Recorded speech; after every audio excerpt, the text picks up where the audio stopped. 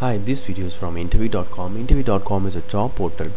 If you're looking for a job, you can log on to interview.com and you can post your resume with us. In this video, I'm going to explain you very simple Java entry question how to sort an array list.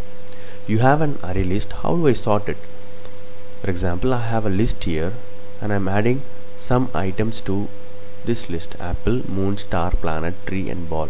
This is not sorted. So before sorting, I'm having a for loop and I'm going to iterate this and I'm going to show you it's not sorted. So this is the trick here. So this is going to do a lot of things for you. So there is an API called collections which is provided by the Java itself. So collections it is it is inside java.util package which is given by Java itself. So this collections as a method call or API called sort whenever you provide a list to the sort method it will sort for you. And I'm trying to show here after the after we call the sort method how exactly it is sorting.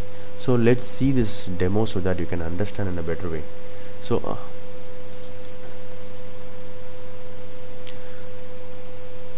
so I'm going to sort this. I'm adding items to the list.